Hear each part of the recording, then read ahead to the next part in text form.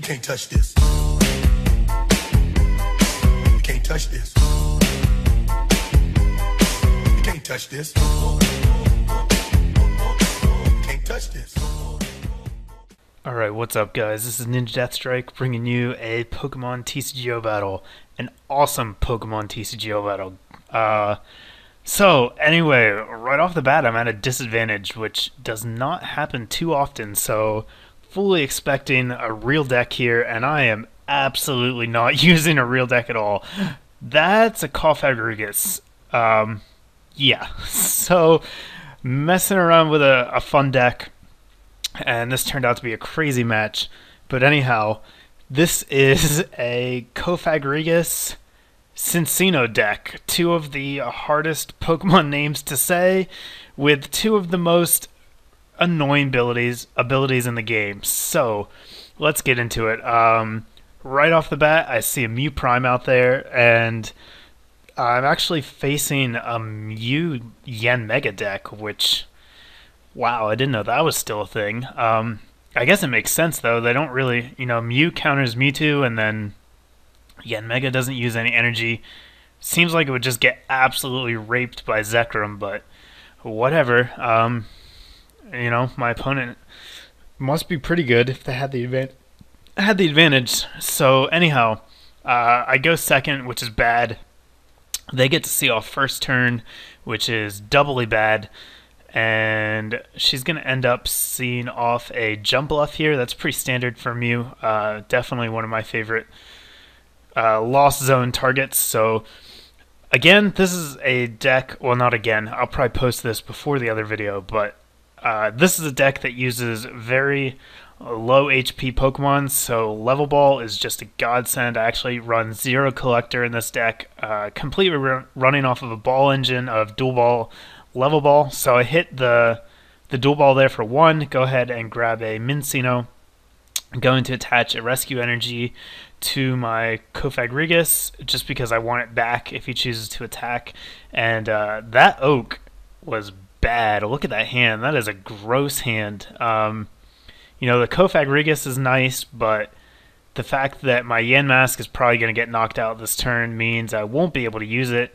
You know, I've got a rescue energy, but that's about it. And then, yeah, no supporters. And I run quite a few. I have uh, 10 draw supporters as well as uh, multiple Pokegear 3.0s. So, you know, um, this deck really aims to just chain supporters. And on my first turn, I whiff. So, in trouble already. Uh, then we see Crobat Prime go into the deck. That's that's annoying. This deck uh, does not like status. It gets around Cinccino's ability. Luckily, uh, Cofagrigus still works, but this is actually a really, really weird matchup for this deck because um, my deck is based around not ever dying and just doing residual damage with Rocky Helmet while I uh, while they fail to kill me with their attacks. Unfortunately, if they snipe on the bench or hit me with status, that plan doesn't work, and my opponent's deck snipes me on the bench and hits me for status. So that's cool. I do have my own edge, though, in that she's playing Mew Prime, and oddly enough, Cofagrigus has a really good matchup against Mew Prime. Go figure. So uh, they're going to be the key. I do go ahead and get the Cinccino up here. And then I need to think about where I want to attach this rescue energy. I could put it on Yamask, or I could put it on uh, Cinccino and then just pray to God I draw into a DCE next turn to get attacking. Um, for those of you who don't know what these abilities do, and there's a fairly good chance you won't because these cards do not see play, Cinccino has ability called Smooth Coat, I believe, and um, every time it takes damage, you flip a coin, and if heads, it just doesn't take damage. Uh, that's from an attack, so status damage uh, does get through automatically, and that's going to prove to be a problem because this turn, I believe, right now, my opponent is going to see off Crobat Prime, and uh, whatever poison, strong poison, or whatever it's called, is kind of going to ruin my day with Cinccino. Um, then we have Cofagrigus there on the bench, and look at that, top deck and N, so I'm back in the game, thank God. Uh, today's been one of those days, I don't know if you guys have those days where you just cannot draw a supporter to save your life. I lost so many matches today just because I hit a supporter dry spell, and uh, it screwed me over. But luckily, top deck the N there, and I get into a DCE, so I will be able to take a knockout on Mew this turn. I've got a level ball. Uh, so I'm thinking about what I want to do, and I'm actually going to go for the dual ball first because if I hit one of those, I can grab another Yamask, and then I will have that Cofagrigus ready next turn if I need him.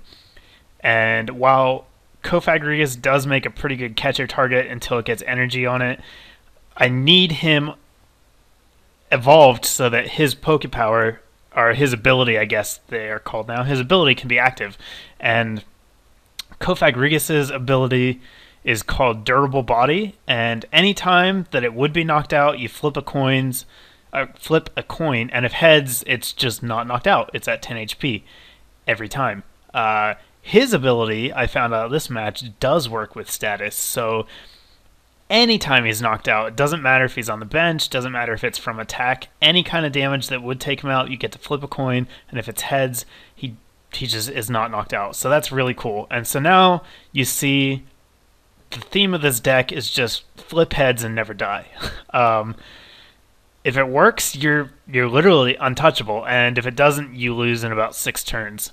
Uh, but still, when you win, let me tell you, it's pretty satisfying. Uh, I should probably just call this the, the, the troll deck. That's what it does. Um, just if I had this deck in real life, I'm pretty sure I would stick the little troll faces like on the face of each and every one of my cards because it is just a huge, huge troll.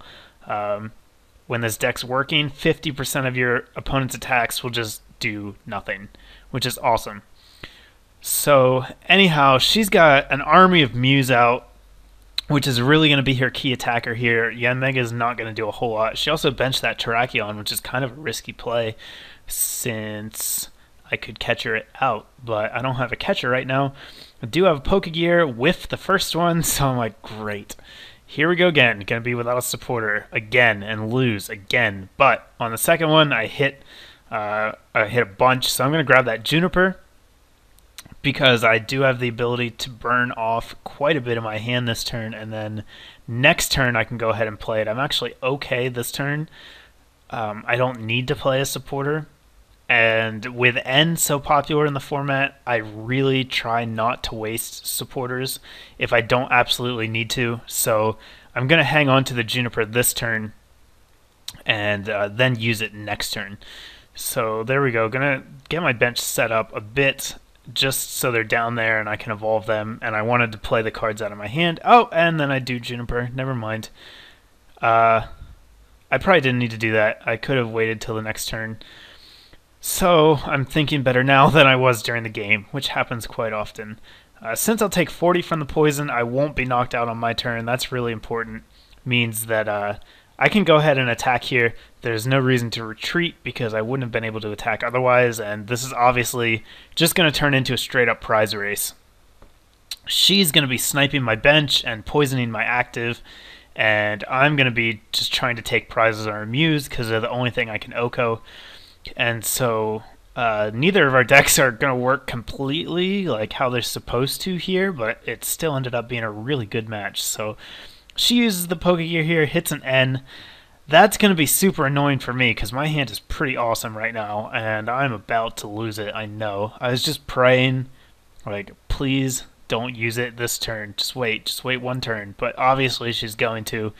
Uh, because if she wants to attack with the Yanmega, she needs to equal their hand size, and my hand is massive right now, so there's no chance for her to do that otherwise.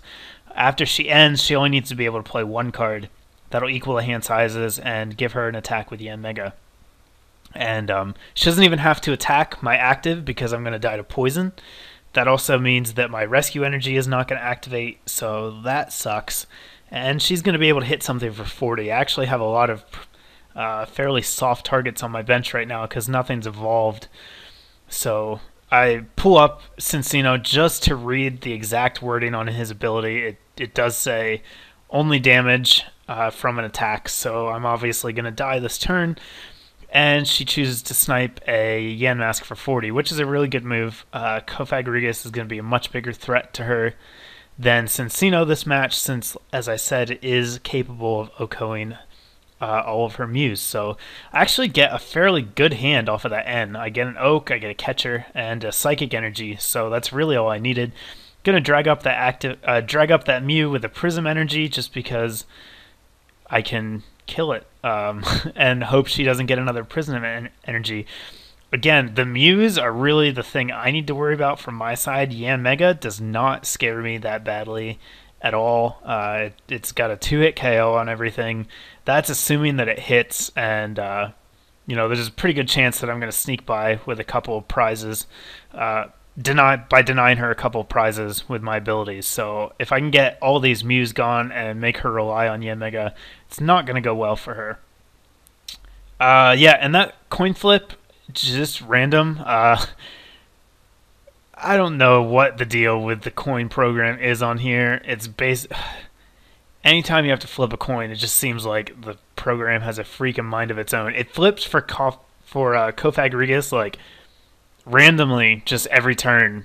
It doesn't even matter if anybody attacked. Like sometimes I'll play a supporter and it's like, oh, flip to see if you're knocked out, and it doesn't do anything. But I don't know, whatever.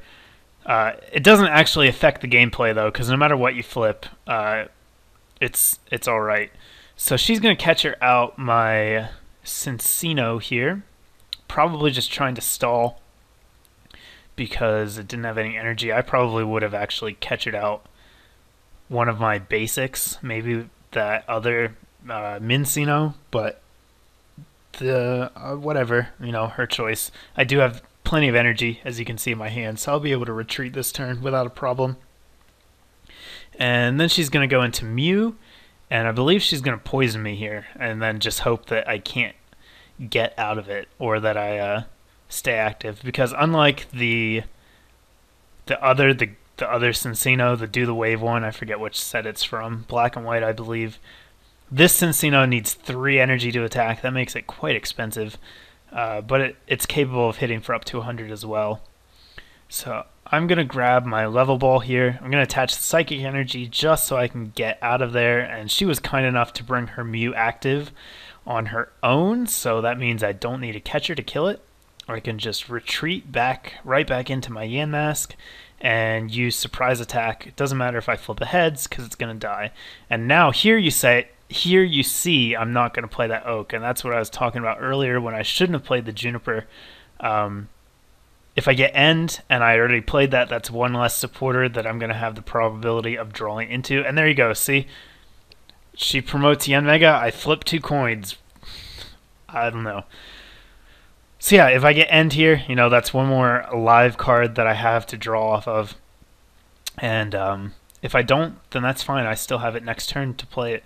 So in comes the Omega, down comes the fourth Mew, and now she needs another uh, Prism Energy or Rainbow Energy. Either really would help her out. And uh, she, I guess she doesn't have it here, or she's gonna try to match hand sizes so that she can go for an attack with the Omega. But I think um, what she really wanted to do here was attack with that Mew. I actually cut out a big chunk of her just thinking about what she wanted to do. There's about a minute where she didn't do anything.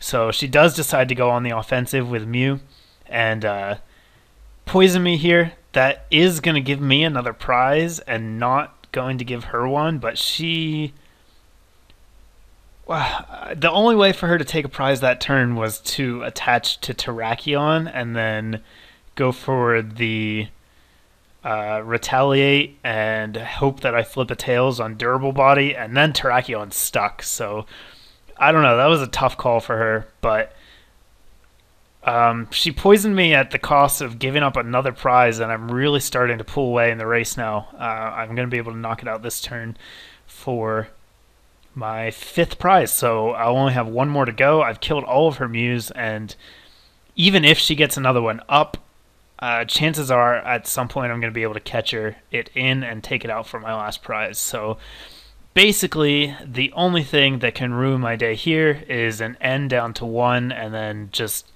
flipping tails for the rest of the game. So I'm sitting here as she's uh, mulling over her options, just praying for the love of God, please don't have an N. I think she already played two. I think. Maybe she only played one. But I was just hoping she didn't have one because if she doesn't have one, I'm in real good shape. I've got that catcher too, so that means I'll be able to catch her up that Terrakion next turn and uh, stop it from retaliating and also basically trap it in the active spot with its massive retreat cost. So she junk arms for a Super Rod. I'm assuming she put some Mews back in there, and I don't know what else she would have done. I don't think she has any basic energy in there, so they had to be Mews, which it really is her only option, but it's just making it easier for me too. Uh, so she's down to three cards now, and she still hasn't played a supporter. So I was feeling pretty good.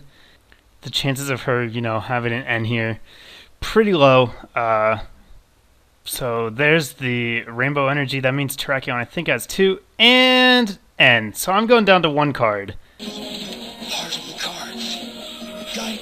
But fucking heart of the cards, top deck the Juniper like a boss, and uh, yeah, feeling pretty good after that one happened. Um, I had a fair number of outs there. Uh, you can also see, I think it's at the end of this turn. How much damage do I have? I have, yeah, I have 80 damage on my Cofagrigus right here. So uh, she's going to end her, uh, she's going to Junk Arm for the Pokegear, get herself out of her own pretty low hand size, or at least allow herself to get out of it next turn. But she matches hand sizes here. That means she's gonna uh, be able to go for attack and attack. And she actually chooses to snipe my Cinccino. I flip a tail, so I do take damage. But uh, right here, flip a heads doesn't do any. Uh, is not knocked out, even though he's poisoned. So, yeah, got that Juniper Gonna play it down right here, draw a whole new hand, and uh, there's another Cofag Cofagrigus. I don't think I'm gonna need to evolve him though. I don't get any energy, so that kind of sucks. I guess I do evolve him, uh, but I, um, looking here, like there's still I'm still in danger of this Cofagrigus dying to poison. There's only a 25% chance I can live through the next two turns, less than that if she attacks. So I could retreat here, but the problem is I'm not going to be able to attack with anything, so that's not a good idea. I have those junk arms in my hand though, and I realize that Terrakion is just a big fat catcher target right there on the bench. So what I'm going to do is uh, go ahead, junk arm out for the catcher, pull that thing active, and then it's basically trapped there. And that's the only thing that can't do anything annoying. So it's going to be forced to try and attack my active and flip a lot of tails to be able to win. So as soon as she sees me play the junk arm, she just concedes. That's going to be the game. Awesome match. Uh, I love this deck. It's so annoying, but when it works, it is awesome. So I hope you guys enjoyed the video. Uh, you could probably put this deck together for next to nothing. You don't even need collector for it. So uh, leave me a comment, leave me a thumbs up if you liked it and I actually have another really fun random deck coming up after this one, so stay tuned for that as well. Uh, see you soon.